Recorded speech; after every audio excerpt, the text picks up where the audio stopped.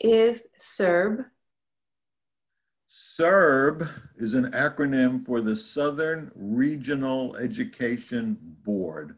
This is a nonprofit organization that advocates for the use of quality online tools and best practices in online teaching and learning. Their website has useful information for teachers and administrators who are managing online and hybrid teaching.